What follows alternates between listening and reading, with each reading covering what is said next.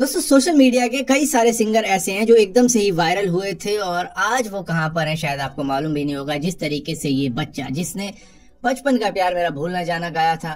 या फिर कह लो ये लेडी, जिन्होंने हिमेश रेशमिया के साथ में तक गाना गाया, डुएट सॉन्ग गाया था, काफ़ी ज़्यादा पॉपुलैरिटी भी इनको मिली थी, लेकिन इनकी एक आध वीडियो वायरल हो गई थी, जिसमें अपना एटीट्यूड दिखा रही थी, किसी के साथ में सेल्फी नहीं खिंचा रही थी, एकदम से ये भी गायब हो जाती है आज।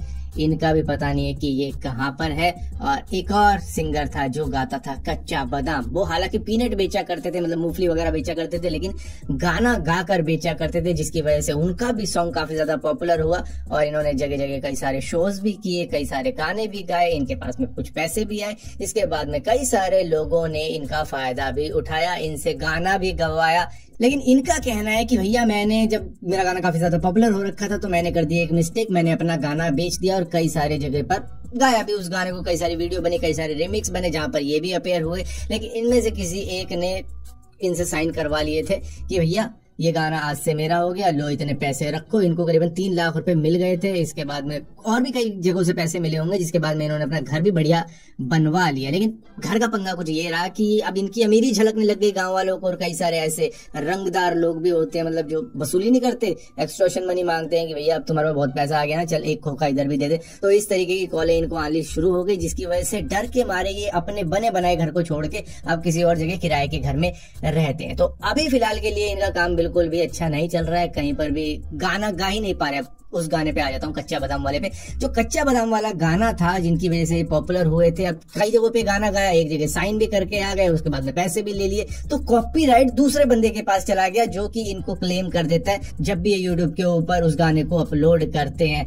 क्योंकि अब वो गाना इनका रहा नहीं, इन्होंने बेच दिया था। तो अब ये कह रहे हैं कि मेरा गाना मुझसे चीटिंग करके ले लिया गया है। जब वो काफ़ी ज़्यादा पॉपुलर हो रखा था तो मैंने कई जगहों पे गाने गाए, कई आपने वीडियो देखी होगी रिमिक्स वाली। तो उसमें से किसी ने, एक ने इनसे साइन करवा लिए थे, और पैसे भी मिले थे इनको उसके बदले में। शायद इनको बताया भी गया होगा कि ये गाना अब हमारा हो जाएगा, ये गाना अब हमको बेच देते हो तो हम आपको इतने पैसे देंगे। हालाँकि ये बताते हैं कि देखो, मुझे ना हिंदी आती, ना इंग्लिश आती तो मेरे पे कुछ पेपर पे साइन करवाए गए थे, जिसकी वजह से अब मैं यूट्यूब के ऊपर जब भी कच्चा बादाम अपलोड करने की कोशिश करता हूँ, मेरे पास कॉपीराइट क्लेम आ जाते हैं और मेरी जो अर्निंग होनी चाहिए, वो उन्हीं के पास में चली जाती है। तो ये दिक्कतें मेरे साथ में हो रही है। ऊपर से कच्चा बादाम गाने की वजह से ही मैं इतना ज़्यादा पॉपुलर हुआ कि मैंने अपना झोपड़ी वाला घर अच्छा पक्का बना दिया और उसकी वजह से आज मैं किराए के घर पे भी रह रहा हूँ। और फ़िलहाल के लिए मेरे पास कोई भी काम नहीं है। एक काम था जो कि मैं ये गाना जगह जगह पर गा देता था किसी शोज़ में वगैरह वगैरह में, और वहाँ से मुझे पैसे मिल जाते थे, वो भी आने बंद हो चुके हैं। तो फ़िलहाल के लिए किसी गोपाल नाम के बंदे पर ब्लेम डाल रहे हैं कि इसने मुझसे साइन करवाए थे और इसने मेरा मतलब गाना बनवाया मुझसे और उसके बाद में मुझे पैसे भी दिए। तो मुझे नहीं पता था कि मेरा गाना बिका या नहीं बिका।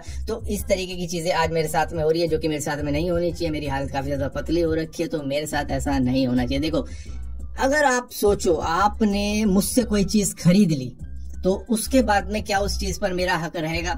नहीं रहेगा। तो वही सेम बात हो रही है। यहाँ पे तो मतलब मुझे बाबा का ढाबा याद आ रहा है कि बाबा का जो ढाबा था, उसको एक यूट्यूबर ने काफ़ी ज़्यादा पॉपुलर किया था और उसकी वजह से उनकी कमाई काफ़ी अच्छी हो गई थी। इतनी अच्छी हो गई थी कि उन्होंने खुद का रेस्टोरेंट तक खोल लिया था, लेकिन रेस्टोरेंट नहीं चला क्योंकि काफ़ी ज़्यादा बवाल इन्होंने क्रिएट कर दिया था।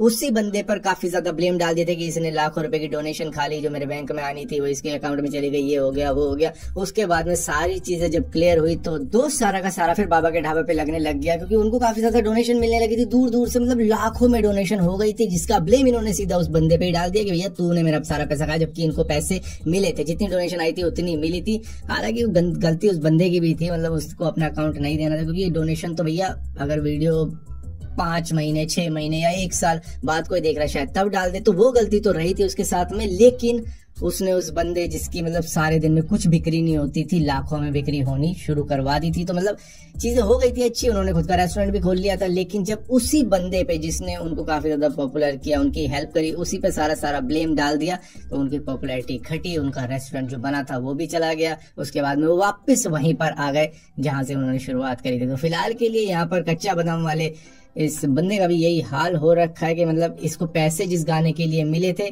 अभी भी ये कहता है कि वो मेरा गाना, हालाँकि इन्हीं का है मैं नहीं कहता इनका नहीं है, लेकिन वो गाना बिक चुका है तो अब वो कैसे तुम्हारा होगा? और लीगली डॉक्यूमेंट साइन हुआ है, ठीक है, कहते हैं कि मुझे हिंदी नहीं आती इंग्लिश नहीं आती, पढ़नी, बोलनी तो चलो, आती होगी हिंदी, लेकिन पढ़नी नहीं आती तो उसकी वजह से सारी की सारी दिक्कतें हुई हैं, लेकिन बात सारी की सारी वहीं पे आके अटक जाती है कि भैया तुमने पैसे लिए थे तो अब वो गाना तुम्हारा कैसे हो सकता है? या तो अगर ऐसे होता कि मतलब तुमने उस कागज़ के ऊपर ये लिखवाया होता कि भैया, मैं सेलिब्रिटी हूँ, ये मेरा गाना है, मैं बस तुम्हारे लिए परफॉर्म करूँगा, मैं तुम्हारे यूट्यूब चैनल पे आके गाऊँगा। हालाँकि मेरे हिसाब से इनको ऐसा ही लगा होगा कि इनके साथ में यही हो रहा है कि यूट्यूब चैनल पे जाएँगे, वहाँ पर गाना गाएँगे। उसके बदले में इनको पैसे मिलेंगे, लेकिन लाखों, वो थोड़ा सा ज़्यादा हो गया। तो फ़िलहाल के लिए चीज़ें अभी ऐसी हैं कि इन्होंने अपना केस फ़ाइल करने का तय कर रखा है, शायद रिपोर्ट विपोर्ट भी करी होगी। इन्होंने इंटरव्यू में तो खैर बताया है कि भैया, मेरे साथ ऐसे ऐसे हो रहा है कि अब हालत काफ़ी ज़्यादा पतली क्योंकि मैं अपना ही गाना नहीं गा पा रहा अपलोड नहीं कर पा रहा, जिसकी वजह से दिक्कतें हो रही हैं। तो कंफ्यूजन है मतलब यहाँ पे तो बहुत तगड़ी वाली कि कौन गलत है, कौन सही है।